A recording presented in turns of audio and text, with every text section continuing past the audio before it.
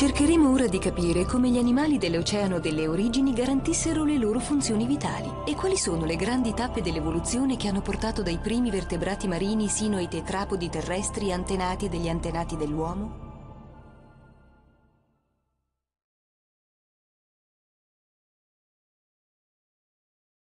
Le acque dell'oceano sono ricche di plancton animale o vegetale.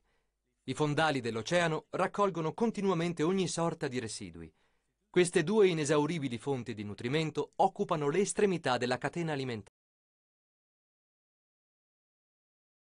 Invertebrati o vertebrati che siano, i planctofagi si nutrono di plancton, costituito da alghe e da larve microscopiche che galleggiano o nuotano nell'acqua.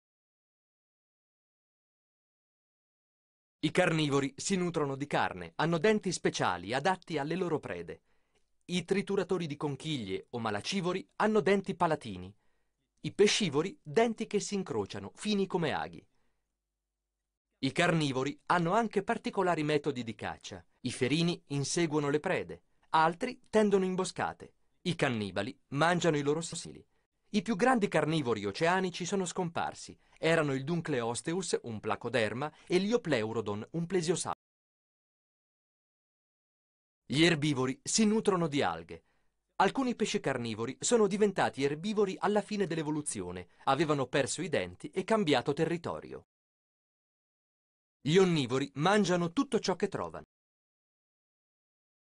Limivori e detritivori si contendono le scorie di ogni genere che cadono sul fondo, particelle organiche, feci, cadaveri di animali, piante morte o uova. I limivori filtrano le scorie microscopiche, i detritivori mangiano quelle più voluminose. I primi pesci non avevano mascelle ma una bocca, una semplice apertura munita di dentini o piastre che trituravano e laceravano il cibo alla meno peggio. Si chiamavano agnati, cioè senza mascella. L'acquisizione della mascella ha permesso a chi se ne è dotato di afferrare il cibo e quindi di sceglierlo, accumulando così più energia per partire alla conquista di nuovi territori. Una mascella non si inventa. Sono state utilizzate le branchie che già c'erano.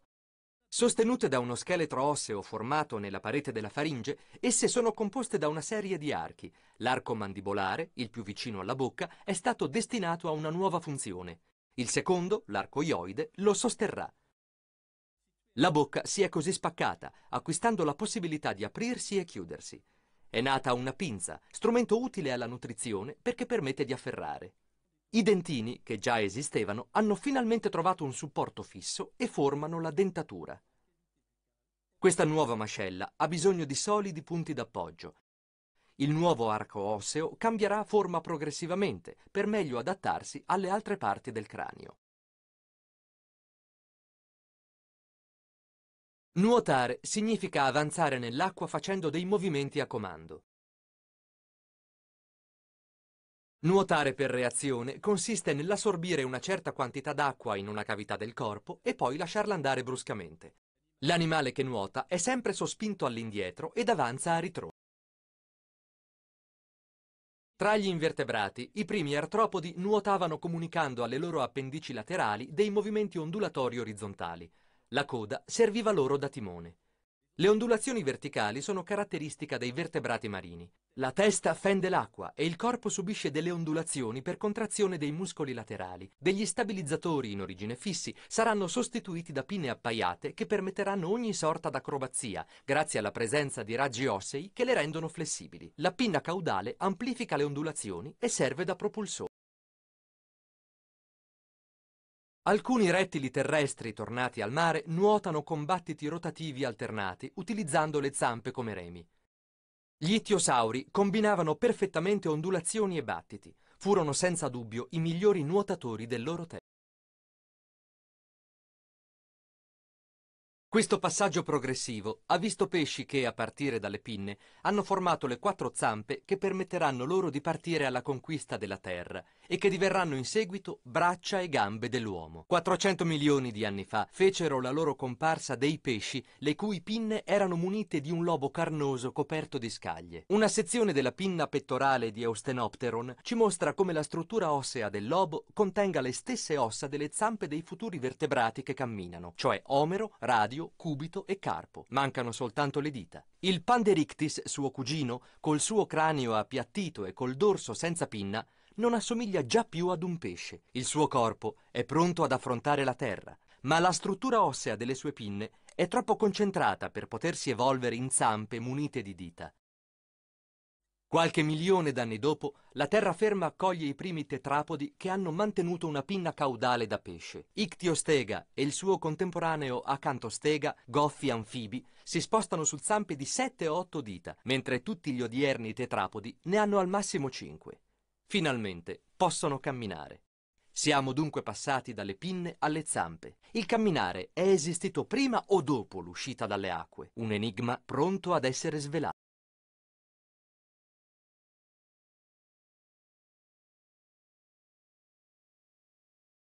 Sopravvivere significa mantenersi in vita, ma anche assicurare la sopravvivenza della propria specie. Per ottenere ciò sono coesistite numerose soluzioni.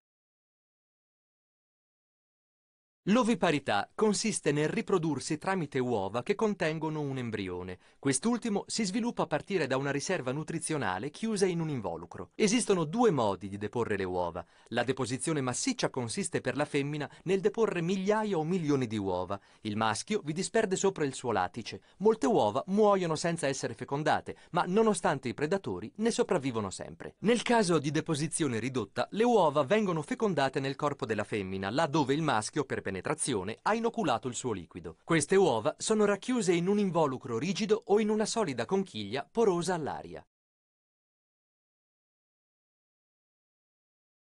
L'ovoviviparità è una particolare forma di oviparità. Le uova si schiudono nel corpo della madre.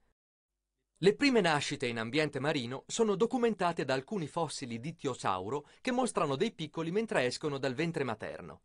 Questi rettili, abituati al nuoto in alto mare, non avevano più la possibilità di recarsi a terra per deporre le uova.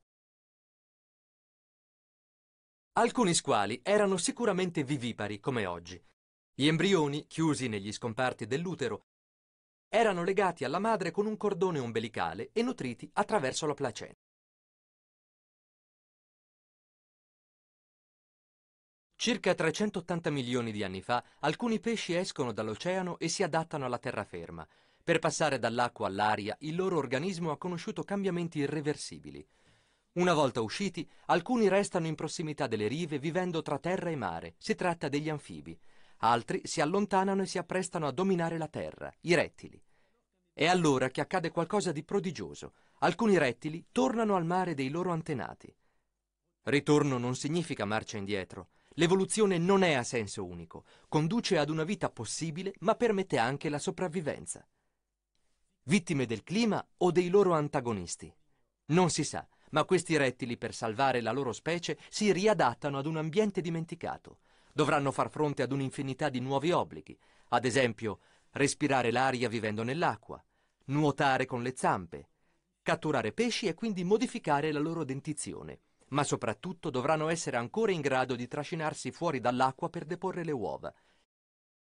Il ritorno all'acqua provoca anche delle novità. La più importante è stata scoperta presso gli ittiosauri. Troppo adattati al nuoto per accedere al suolo, fanno nascere i piccoli nell'acqua. Molto più tardi, alcuni mammiferi seguiranno lo stesso percorso.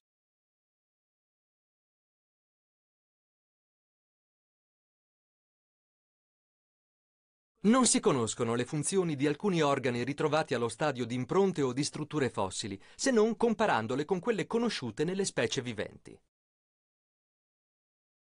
Dei piccoli animali assumevano a volte un aspetto terrificante, come questo trilobite o questo agnate trovati in Cina. Alcune difese erano dissuasive, ad esempio gli aculei del riccio Miocidaris o la pinna dorsale dello Xenacanthus, munita di un pungiglione d'osso, o quella del Dorypterus, lunga e puntuta come uno spiedo. Trasformare la propria pelle in carapace, con o senza scaglie, era un modo per mettersi al riparo, sia che si fosse l'antenato delle tartarughe o quello dei coccodrilli. Ci si poteva difendere anche tramite vistose esibizioni. Alcuni cefalopodi avevano probabilmente delle tasche d'inchiostro come quelle delle attuali seppie. In caso di pericolo, i brachiopodi chiudevano immediatamente le valve e i molluschi si richiudevano nelle loro conchiglie. È probabile che le prime meduse avessero già delle cellule urticanti e i trilobiti, appallotolandosi tutti, passavano inosservati. In cima al cranio di Arandaspis, uno dei primi agnati, oltre agli occhi hanno trovato due aperture pineali. Gli anfibi ne avevano soltanto una. Questa sorta di occhi derivava da un organo posto nel cervello. Essi non fornivano immagini, ma probabilmente permettevano di percepire la luce. Nell'uomo divennero l'epifisi. L'opabinia, un artropodo primitivo, aveva cinque occhi sopra la testa. Alcuni trilobiti avevano occhi sfaccettati come quelli delle mosche, a dire il vero altri dovevano essere ciechi. Non si è trovata traccia dei loro Numerosi artropodi erano dotati di antenne. Le membrane sopra la testa e sui fianchi di alcuni agnati erano probabilmente degli organi elettrici composti da cellule ricettive alle correnti. Tutti i pesci avevano linee sensoriali lungo il corpo e sulla testa, costituiscono gli organi di senso cutanei, sensibili alla pressione e ai movimenti dell'acqua.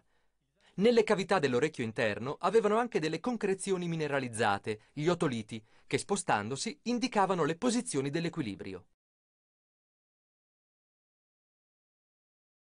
Ben presto nella storia degli animali marini la pelle ha secreto ogni genere di involucro protettivo. Presso gli invertebrati il manto secerne una conchiglia rigida di calcare o chitina, nei pesci la pelle secerne delle scaglie d'osso e di dentina. Esse costituiscono anche delle riserve d'energia perché il loro fosfato è sostanza fondamentale per l'attività muscolare. L'epidermide che ricopre queste scaglie è sempre umida. Per evitare un naturale essiccamento, gli animali usciti dall'acqua hanno dovuto adattarsi. Gli anfibi perderanno le scaglie e la loro pelle nuda avrà bisogno d'essere regolarmente bagnata. Dovranno quindi tornare in acqua ogni volta che sarà necessario. L'epidermide dei rettili diverrà impermeabile, impregnandosi di una nuova sostanza, la cheratina, che formerà in superficie delle scaglie. Per far sì che il corpo perda meno acqua, la loro funzione renale si modificherà e le urine saranno più concentrate. Per inumidire gli occhi dovranno far colare le lacrime. Respirare significa prendere l'ossigeno contenuto nell'aria e scambiarlo con l'anidride carbonica. Gli scambi avvengono a livello delle branchie, che sono gli organi della respirazione. Le branchie sono immerse nell'acqua.